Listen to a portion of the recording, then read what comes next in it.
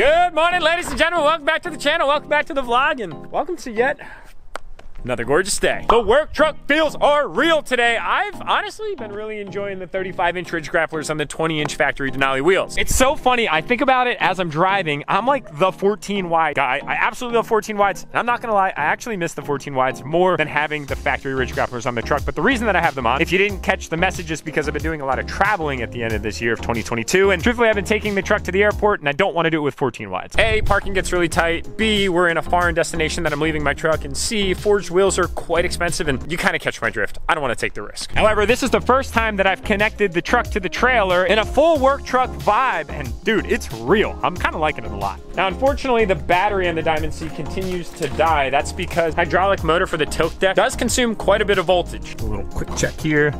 Locked in, locked down, ready to rock and roll. Today we are headed down to pick up a very specific truck that's been missing for a little while and I'm gonna be debuting to you guys probably the sickest setup of dually wheels you've ever seen on what is the Chevy GMC platform. You guys remember that black dually that kind of somewhat disappeared to Sean's a little while ago? We're picking up today and the wheels finally arrived from Standout Specialties. Genuinely the single and only reason I never went Duramax dually was because I never envisioned a setup of wheels that I knew was just elite in every single way, shape, and form until this setup today. Ladies and gentlemen, it is going to pop. It's gonna look so sick. You're gonna see a small teaser of it in the beginning of this video, and then at the end, you're gonna see the full reveal. We got a lot to accomplish, we gotta go. First, how about a semi-cold start on the Denali? Yeah, I think so. It's a little long overdue. And it's finally getting cold out, which I'm weirdly excited about. But daylight savings, not excited about at all.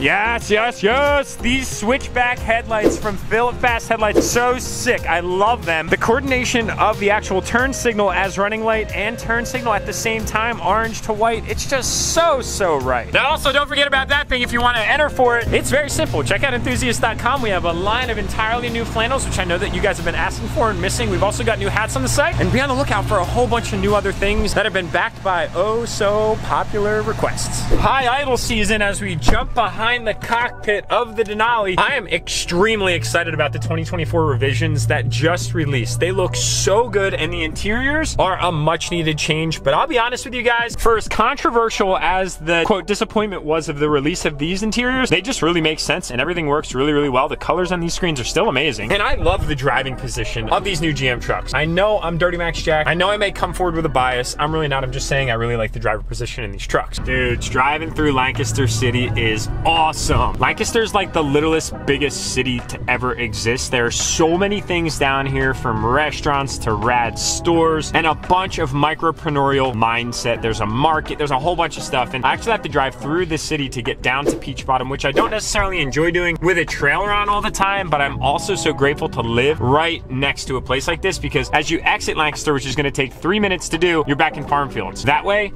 same thing that way, same thing that way, and same thing that way. So what I'm saying is don't ever come to Lancaster, it absolutely sucks. That way I can just keep it all for myself. Guys, we have arrived. The dually's in front of me. I'm gonna give you guys a quick little look. There's a very small teaser that you're gonna see now, which is actually a hint at where we're going later in the video. You don't wanna click off of it because what you're about to see is gonna be game changing for how you've perceived the 2020 plus body style Duramaxes from this point going forward, and you'll see why halfway right now.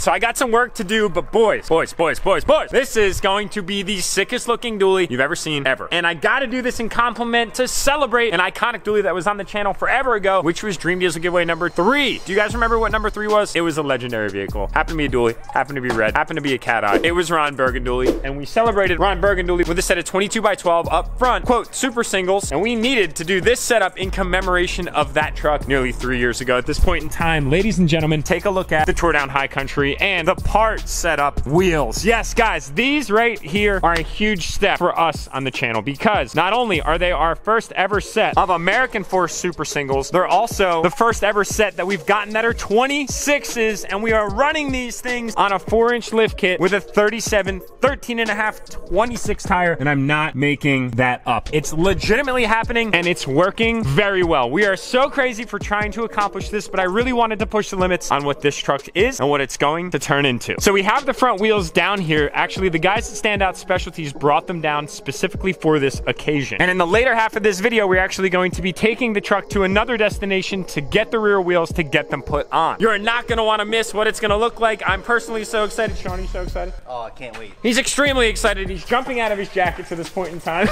and we are going to just see how absolutely menacing and how much it's going to transform this truck into what this crazy mind and this crazy man is trying to accomplish. These wheels right here are the factory gloss black from American Force legs in a 26, what they call concave super dually forged setup that is 10 lug, yes. Now this is not 10 lug for the front of the GM truck because it's actually an 8 lug hub, but it has a 10 lug adapter which matches up to the back, which will be a 10 lug adapter that goes onto the 8 lug axle that gives us the ability to mount up some absolutely massive hardware to keep those rear wheels on. Now the stance on this thing looks awesome. About half of the wheel is out, half of the wheel is in, which is what I like to shoot for, especially when specking wheels on all the other trucks. Now this is a 14 wide, so it's a 26 by 14. It is by no means a small wheel, but we got it to turn, which is absolutely insane. On a 37 for my GM guys, you know that that is a stretch, that's a feat, but it's an accomplishment now in the vlog. We just proved it to you guys. The stance is absolutely perfect, half in, half out, and that brings us to the back. When we get these wheels mounted on the rear, it is going to take this dually ace and accentuate it in the perfect complementing fashion. Those things should stick out somewhere around there.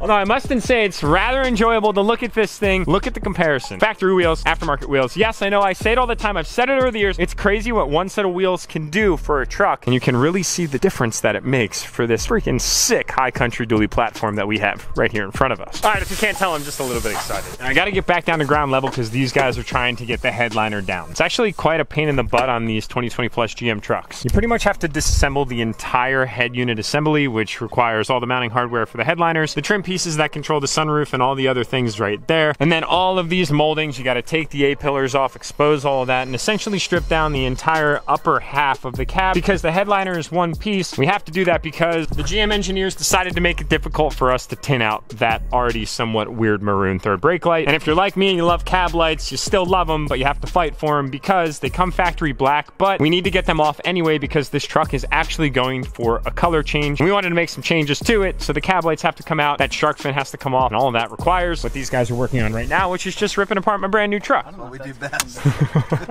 well, that's why I freaking love you guys. So that is the byproduct. You literally have to take the entire headliner down, all the A, B, and C pillars out just to get to the actual back spoiler, which is right there, then to remove the third brake light. GM, come on, why are you guys doing the aftermarket like that? Come on, we like to play with these things. All right, we're jumping on in. It's gonna be interesting, as you can see.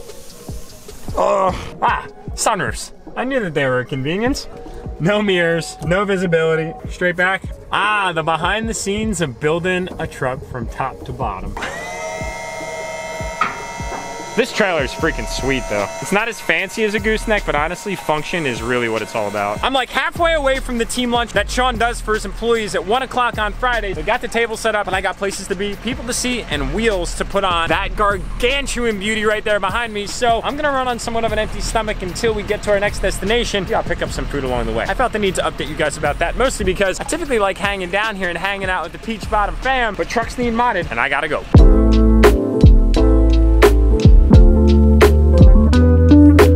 Ladies and gentlemen, on to our next pit stop. We are over here now at 1275 Loop Road, AKA Accelerate Auto. Also, the new facade for what's up and coming. I know I've been saying that a lot lately, but I can't tell you guys what it is yet. Although I really want to, just wait. Great things come with time, and that reveal is coming as soon as those that control other variables that I can't control approve those variables so I can tell you guys. So we're greeted with a gorgeous sight. We've got the Denali on the factory wheels, which I know that you guys love. Big old beefy tires. It's that work truck look with the dually on the back. Look at how sick that thing looks. Oh my God, man. This is just a small foreshadow teaser of what's to come. Imagine those wheels matching in the back. And then we're greeted with Dream Diesel Giveaway 28. We got Jake and Josh that are gonna meet us down here. We're gonna get this thing unloaded and we are gonna get to work putting those rear wheels on.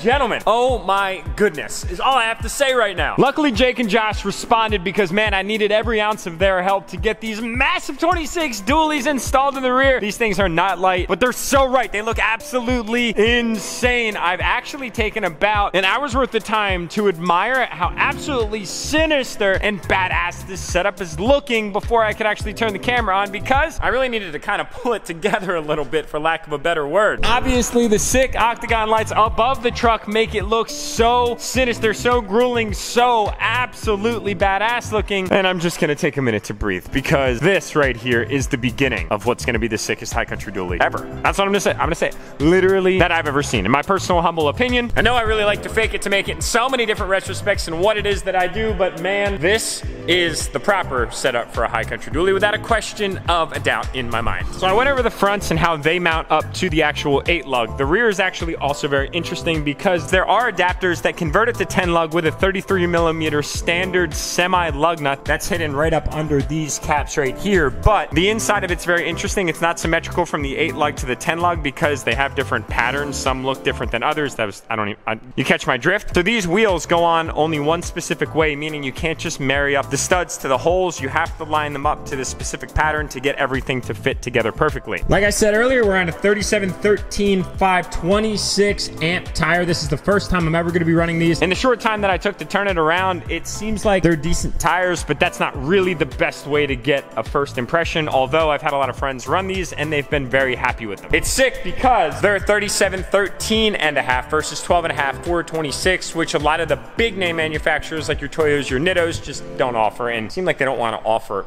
ever. So we're running exactly one half inch of spacing in between the dualies, which gives us adequate clearance between the tires because if you have your CDL, you know that a major cause of fires is tire rubbing, we don't have any of that at all. Now we do have the big old cap here in the center covering up the hub. I love the center caps on the American Force dually wheels. They just really make a statement. Now you can also admire the fact that the stance in the back is almost complement to the stance in the front. It's very similar. It's not exact. This probably sticks in a little bit more, but these are eight and a quarter inch wide wheels versus that big 26 by 14 up front. I just can't help but smile. This moment right here, this feeling, the excitement of seeing this setup literally coming together is so satisfying because when I said I'm gonna get a four inch Cognito lift and I'm gonna stuff a 37 inch tire under it on 26 by 14s up front, I even thought that I was crazy, but I had this weird gut intuition and I just had to follow it. Thank you tremendously to the team over at Standout Specialties for helping us out all along. They actually hand delivered the front wheels down to the guys at Peach Bottom to save me an hour and a half trip. And in the back, they actually brought the back ones over right here to accelerate yesterday evening so we could do exactly what we're doing today. So this video was very much made possible by Peach Bottom Accelerate and Standout Specialties. No sponsors or formalities. It's just that the team really came together to deliver so we could throw that touchdown pass, which is this video right now. They actually didn't want to deliver all six wheels because the truck that they had wasn't actually able to accommodate all six massive wheels that these things are. All right, so what are you guys thinking about the setup? Do you like where it's going? Right now, honestly, we could just button this entire truck back up, black it out, and call it the Murder Max, but it's not actually quite done yet, although that would be very sick. That's not the direction that this truck is headed. Rather, we've got something even more in mind. So I'm actually heading off back into my new office. There's a few deliveries that just took place, so I'm gonna have to work on getting this place set up in the meantime. If you follow me on Instagram, you had already seen this spot, but if you don't, you should. I can show you guys around real quick. So this is my old desk. I actually brought it down here. I've got another monitor that I had left over and an extra printer that I brought down as well. I'm working on getting this space set up. We're gonna make it super chill. I'm gonna get some couches in here. We're gonna get a very neat collaborative space going because there's going to be a whirlwind of magic that happens right here. It's also pretty sick because I have my own little executive entrance right here. And if I open up my shades, got my own spot right out there, whether it be the wagon, the Denali, or one of the giveaway trucks, that's where I'm gonna be parking. So that's where we're gonna sign off, ladies and gentlemen. Thank you as always for watching and following along on this absolutely glorious day in Lancaster. I'm so grateful to have you guys as part of this YouTube channel, and man, I truly love y'all from the bottom of my heart. Subscribe to the channel if you haven't considered doing so already. Grab some entries for Dream Just Giveaway 28, and I'll see y'all this upcoming week.